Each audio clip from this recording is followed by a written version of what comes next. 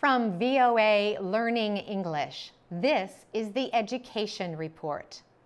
The United States Naval Academy in Annapolis, Maryland, prepares young men and women to become officers in the Navy or Marine Corps.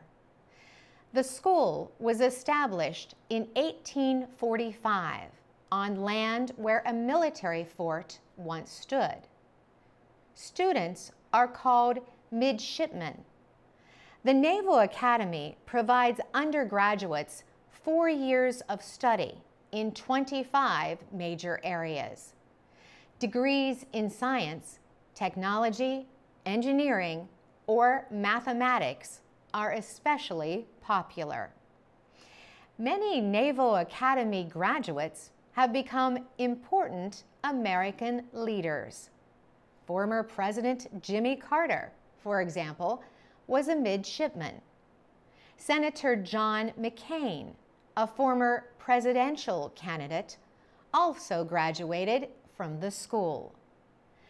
Foreign students also attend the Naval Academy.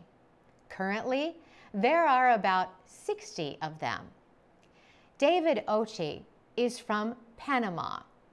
He says it is difficult to learn a new language and get used to a different culture. Student Santiago Gonzalez Ayer of Spain says the Academy has helped him feel more a part of that new culture.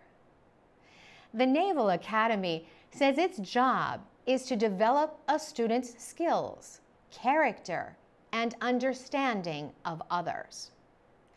International Program Director Tim Disher says the U.S. Navy gains from the Academy's foreign students.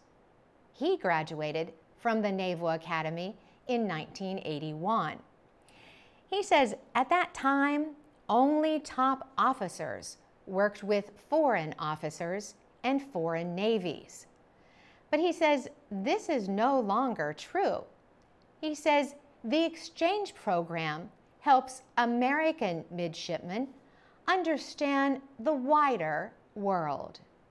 Midshipman Gonzalez Ayer plans to serve as a naval officer when he returns to Spain. David Ochy wants to work as an ocean engineer back in Panama. For VOA Learning English, I'm Carolyn Presutti.